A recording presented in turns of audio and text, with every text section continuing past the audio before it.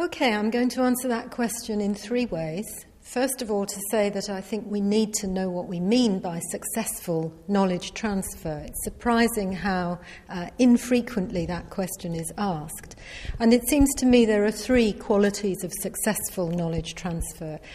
It's something to do with the intrinsic qualities of the knowledge itself. It has to be uh, sound, good, good knowledge. Uh, I think it's also to do with an impact, a discernible impact on policy.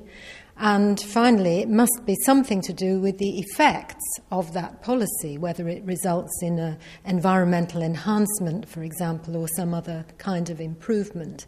So the first point is let's ask ourselves what we actually mean by, by success.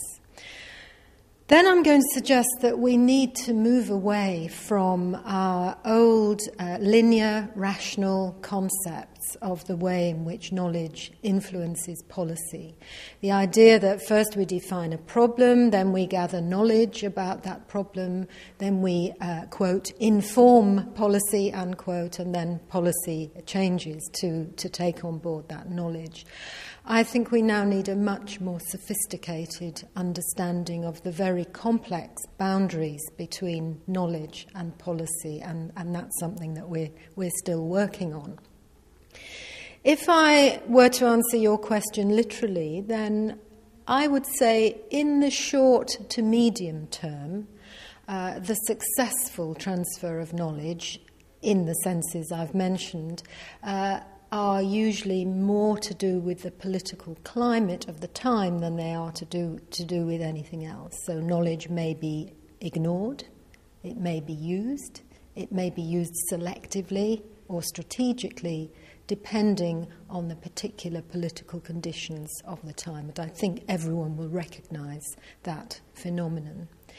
If we're to look in the longer term, however, I think we find that the gradual accumulation of knowledge does change the ways in which we think about things. It changes the frame for problems and policies over time.